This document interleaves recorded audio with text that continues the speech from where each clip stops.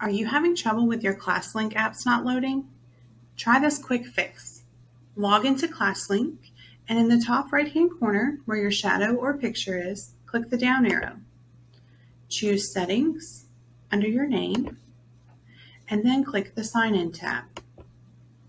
Under the Active Directory, click on the blue key. Type in your email password two times